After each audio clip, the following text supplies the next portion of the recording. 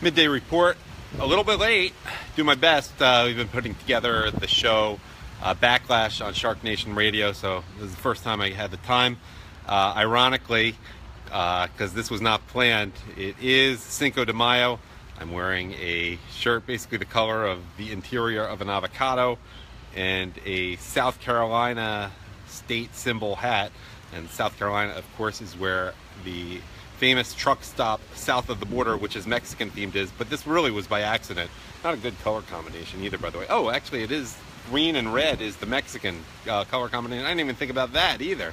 Wow, I guess I was meant to talk about Cinco de Mayo, and I'm standing near a wall. Uh, so look into read into that however you want.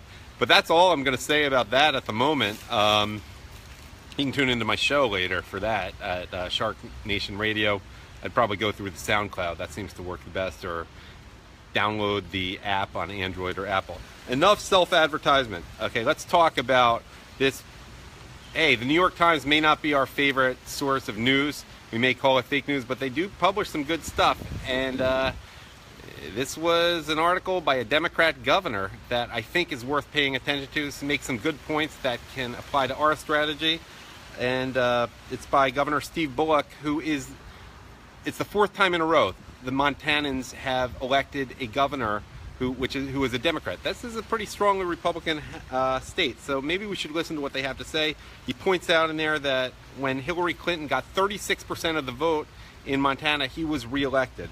Uh, and I just want to go over a couple of good points he makes uh, in here. Just it'll be better for you actually to read the uh, column, and the link is there.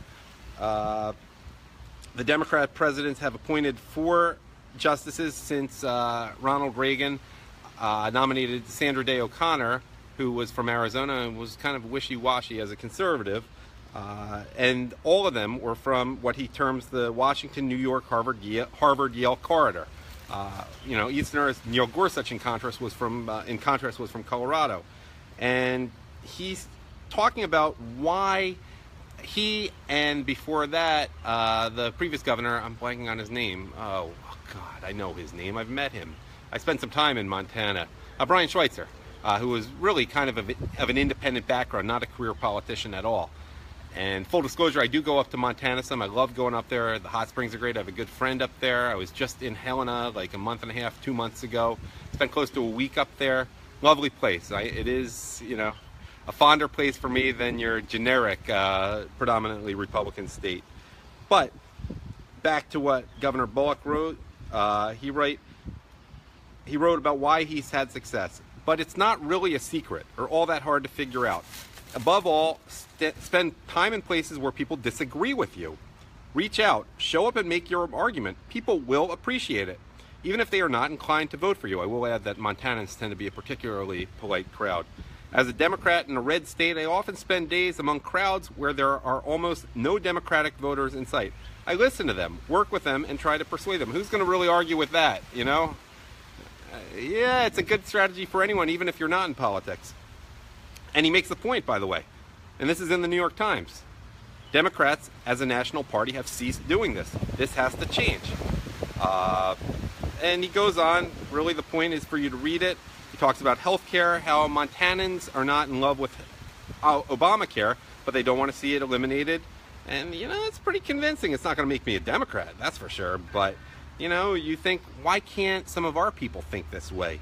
So there you go. I, I do uh, I do want to give you his last paragraph here, and it's instructive. And by the way, Bill Clinton, whatever we think of him, and I don't think too much of him at all, but I'm not going to go into that here.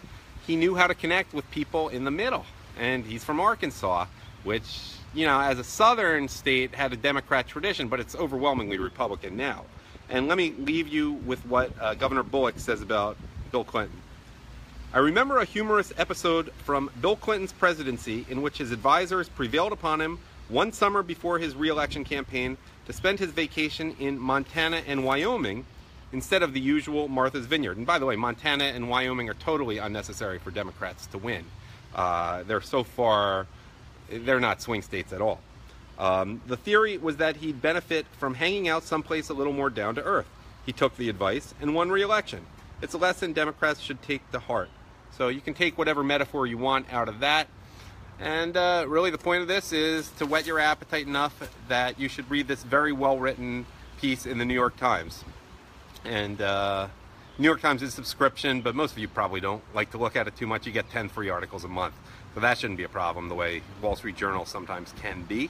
Uh, I will be back hopefully in time. Uh, know, it's a little tricky on Fridays, uh, getting ready for Shabbos. So hopefully I'll have my act together and be able to do a sunset report. I'm going to do uh, one of the more controversial parts of two of the more controversial parts of this Torah reading. Very awkward if you're in a liberal, as I call base Obama type synagogue uh, because these are the two parts of Leviticus in this week where they talk about homosexuality, uh uh uh. And, uh, you know, I could dwell, a lot of rabbis and people would prefer to talk about love thy neighbor as yourself. How could that possibly make a rabbi look bad? But let's talk about the more controversial stuff. I'm going to bring you uh, some of what Dennis Prager has wrote. It's very interesting, very nuanced, very fascinating, and probably don't read it to the kids because uh, the main one there has a lot of stuff that's a little lurid in there, but it's fascinating and it's not necessarily what you think it is. The Torah is pretty clear, but now is not the time to go into that. And also, my podcast will be available at 6 p.m. Eastern Time today. Uh, I focus in this episode of Backlash particularly on Cinco de Mayo just because it's interesting. And uh, we're lucky to have on three good guests, but one whose name you may know, Giselle Fernandez, who's half uh, Mexican, and she has some interesting things to say, no doubt. All right, thank you for watching.